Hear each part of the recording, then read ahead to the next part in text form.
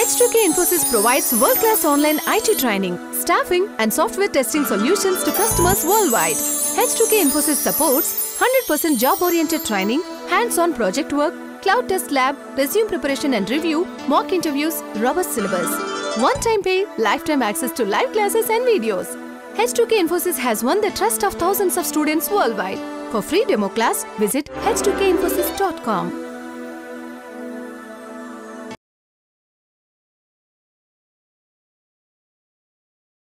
Welcome to BA Demo. Before I start, let me introduce you myself. Well, my name is uh, Shah. I've been working in IT for almost 16 years now, and most of the time, I've been working as business analyst and as a project manager. As far as my training experience goes, I have close to seven years of experience as a business analyst trainer and as a project management trainer. So when it comes to project management, I teach CAPM and PMP certification. As far as my education goes, I'm an MBA graduate from San Jose State University, California. I do also hold PMP certification since July 2006. That's been more than seven years now. I've been working as certified PMP-based project manager. And as of now, I'm based in San Diego. I work for a company called Qualcomm. It's a telecom company that I work for, and I work in the capacity of a project manager. Before we proceed, let me give you some information about the company. Well, we are based in Atlanta, Georgia mainly. Of course, we do have offices at many different locations. We have a very good presence in North America, especially US and Canada. Also, we have presence in European and Asian countries too. As a matter of credibility, we are an E-verified business and we provide worldwide services in IT training and IT consulting. Also, we provide almost all courses in IT. We really specialize in QA, BA, and project management. These are the different clients. We do business directly. So here you can see some very big clients like GE, AT&T, Dish Network, Wells Fargo, Verizon, Sony, Bank of America, Citigroup, Blue Cross Blue Shield, Home Depot, and so on. So well, in this demo session, so these are different topics that will be covered. So we'll see who is a business analyst is. We'll see who qualifies for a BA. We'll understand roles and responsibility of a BA. We'll look into the course curriculum. We'll understand the career path of a BA. We'll do a job comparison between BA job and other jobs in IT.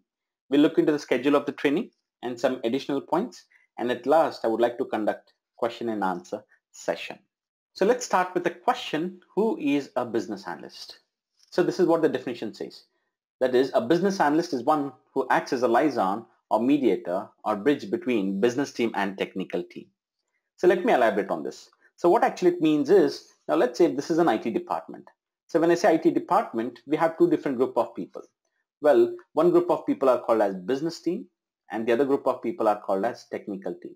So in this situation, what happens is you have a BA who acts as a mediator. That is on one side, you have a business team and on the other side, you have a technical team. So basically a BA is one who acts as a mediator between business team and technical team. So being a mediator, what exactly he does, we'll see that in few minutes from now. Now next, let's see the method of the training, how this training would be conducted.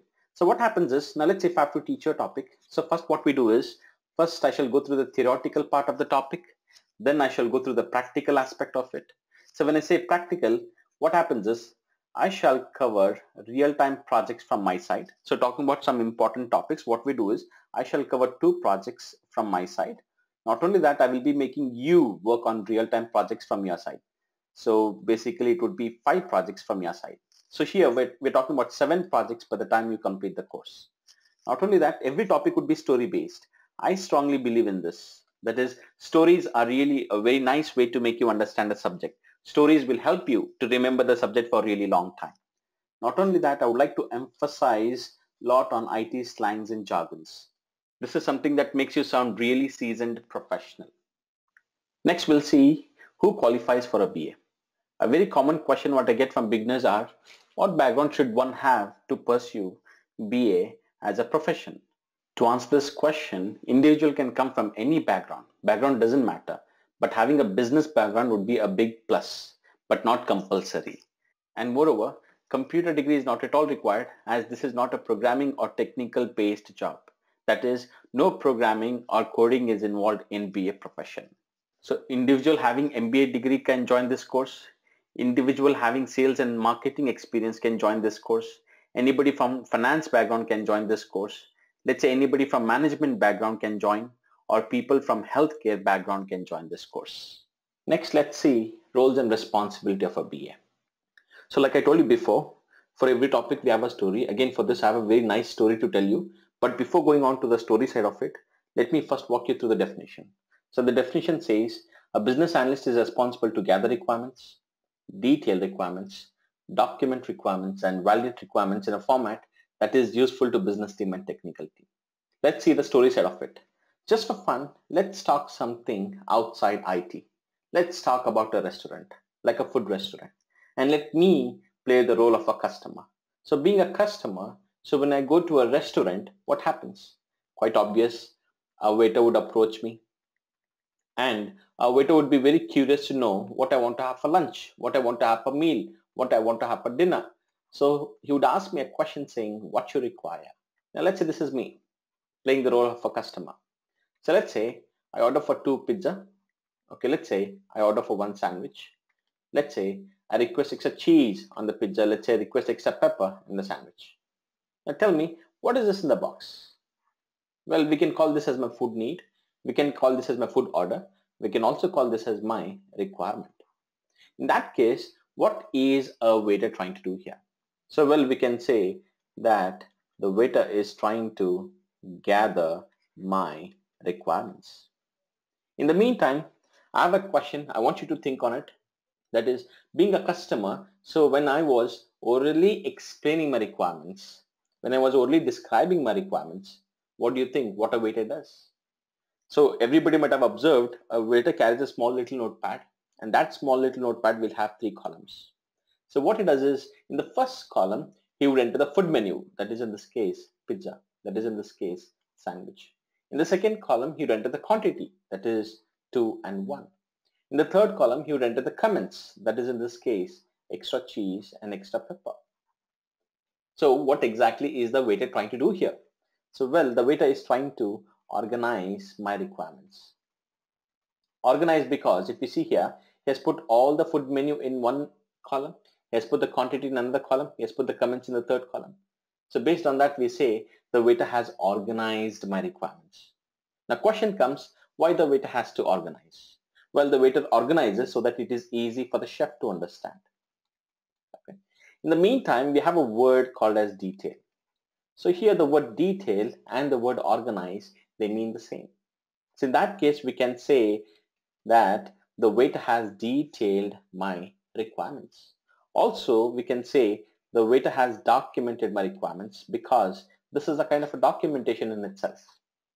I have a question. I want you uh, students to think on it. So that is once a waiter gathers, once a waiter details, once a waiter documents, what does he do next? Have you ever seen a waiter repeats the order? Yes, he wants to cross-check. He wants to cross-confirm the requirement what he has taken is correct or not. That is, he's trying to validate. He's trying to cross-check the requirement what he has taken is correct or not. That is called as validation or validate. And after validation, he would hand over the requirement to the chef. And what the chef does is, the chef would prepare the food based on the requirements given by the waiter. And of course, later on this food will be served to the customer. That's me in this case. So the surprise is even the BA has to do something similar. So that is being a business analyst, you would gather software requirements from the customer. You would detail the software requirements taken from the customer. You would document the software requirements. You would validate the software requirements. And after validation, you hand over the requirement to the developer. So this is where the developer would come into the picture. So what a developer does, the developer would prepare the software based on the requirements given by the BA. So here I would like to emphasize a little bit more on gathering of software requirements. So let me take up a story here. Now let's say we have a person by the name Sam. Now let's say Sam has opened a new travel agency. Now let's say he needs a website for the travel agency. So what would you do? So definitely he has to go to some IT company. Now let's say this is some IT company close to his place. Now let's say this is where I work as a BA. So what happens here? Sam would approach the company that is indirectly to me. So I being a BA, what's my job? My job is to gather information. So that is, I get in touch with Sam, I interact with Sam and understand his requirements and understand his needs. So for example, here, I would like to know from Sam what color the website should be. What are the different tabs uh, Sam want on the website. And uh, does he want to take the payments online? Does he want a login functionality? Does he want to chat customer support? Well, this is a very small format of gathering of uh, software requirements. Once you have gathered, see the way the waiter has used a template of this kind.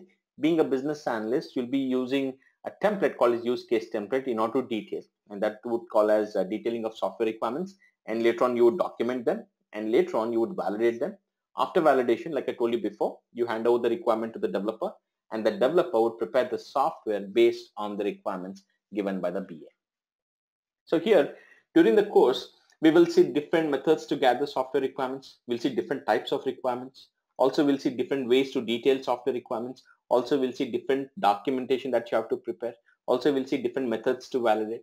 Well, I would call this as core part of the syllabus. Core part, an important part of the syllabus. Next, we'll see different modules that will be covered in this course.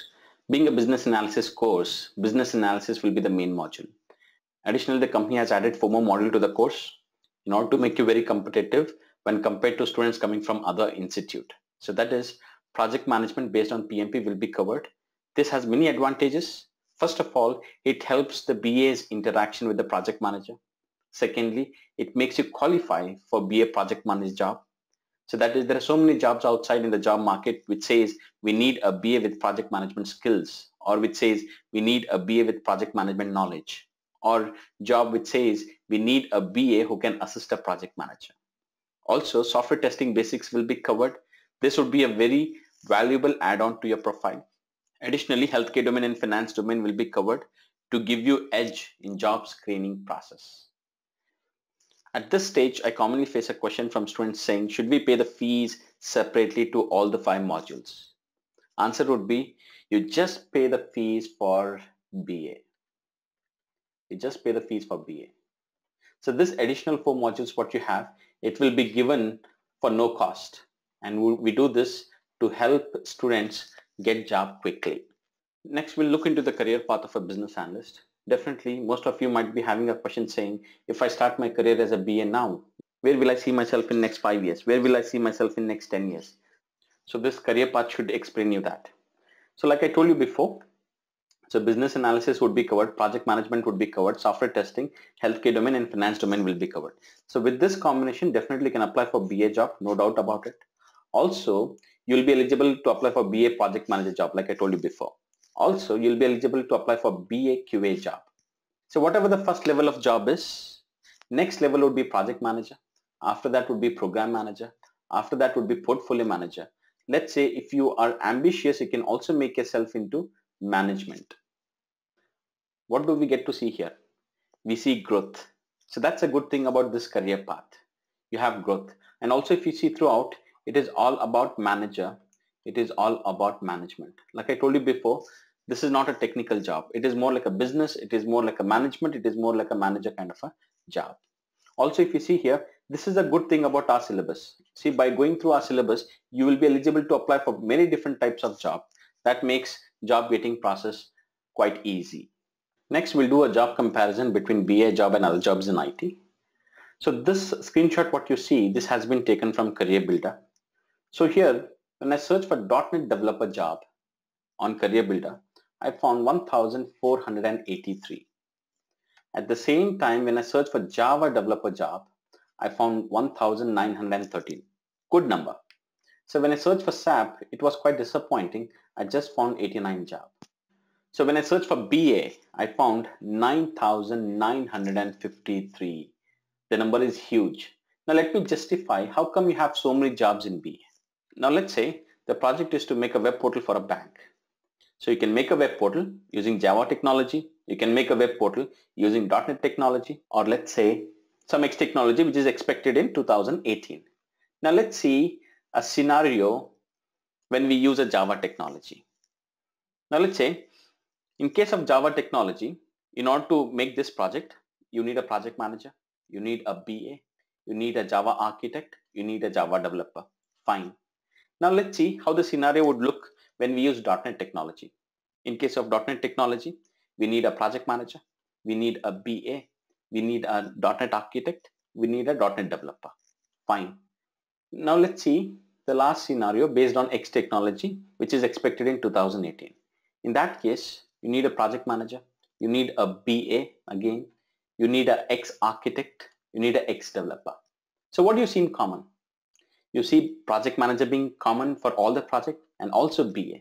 So that is, so when you count all the BA job from all the project and all the technology, that's how the number comes up to be big. Next, let's uh, look into the batch schedule. We have a very nice arrangement of timings. So we have three batches a day.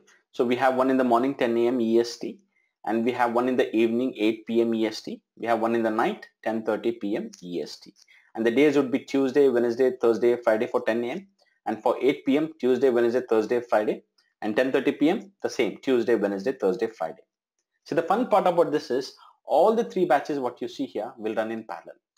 So it means let's say Tuesday morning 10 a.m. I teach a topic called as cost management as part of 10 a.m. batch. It means the same topic will be again repeated second time in a day at 8 p.m. EST. It means the topic will be again repeated third time in a day at 10.30 p.m. EST. That is, we teach your topic three times a day. We teach your topic three times a day. And we do this for sake of revision. We strongly believe in revision. I insist all the students to attend all the three batches. If not three, at least twice. I see some students, they come in the morning, they come in the evening. Some, they come in the morning and night. Some, they come in the evening and night. Always recommend to attend the training more than once. Also, this gives you the flexibility of the schedule. That is, one day can come in the morning, next day can come in the evening, next day can come in the night. Let's say Friday night, you have some plans. No problem, you can come in the morning. You can keep shifting the batches on daily basis. Anyways, the topic covered will be the same in all the three timings. Let me walk you through some additional points. The total duration of the course would be two months. Interview preparation help will be given after this two months of course. That will be again a separate set of classes. Job support will be given. So the condition is one should call me between 4 to 5 p.m. EST, Monday to Friday. Also, this would be a lifetime enrollment. So what it means is, now let's say once you're done with this uh, two months of course, now let's say if you want to repeat this course, yes, you can repeat this course 100 times you want. It is just the first time what you pay the fees. The following time you need not pay the fees. That is what called as lifetime enrollment. We will be starting the batch in couple of days. If you're interested, kindly call this number for registration. I hope you like the demo session. Hope to see in my regular classes. Thank you so much.